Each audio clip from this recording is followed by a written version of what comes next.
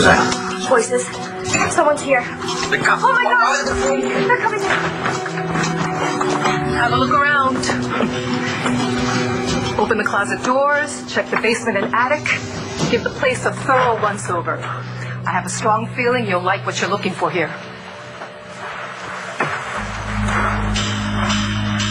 Mr.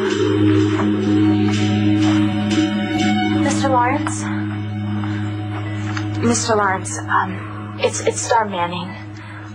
I I know you're hurt, and I hate to bother you, but I need to know. Um, do you know who did this to you? It was Cole.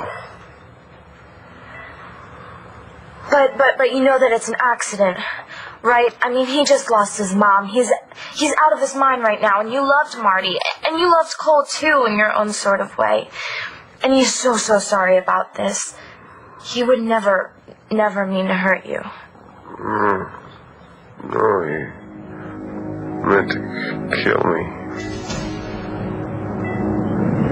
Montana School District? Yes, as you're probably aware, it consistently has some of the highest test scores in the state. I should also tell you that the furnishings that are left are being sold with the house. But if you're not interested, They're a little sterile. I'm sure the seller would agree to have them removed and stored or donated to charity. Why is the owner selling? Um, the couple who owned the house died in an accident. Not here, don't worry.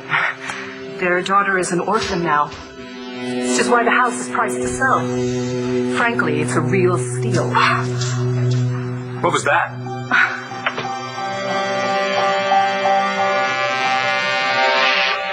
No, no, no, no. Cole Cole was not trying to kill you. Did you talk to him?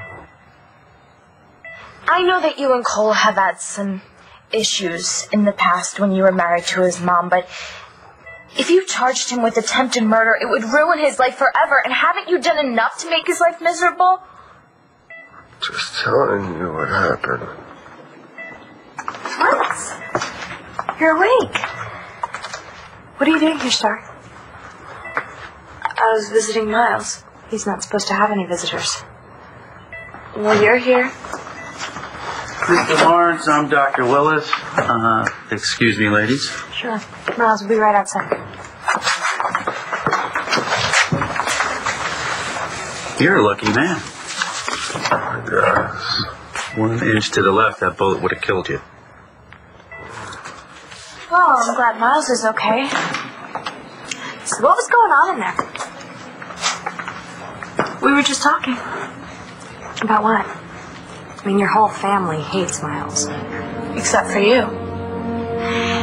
It's not like you got him flowers or brought him a get well card, so what did you sneak into his room to talk to him about, Starr?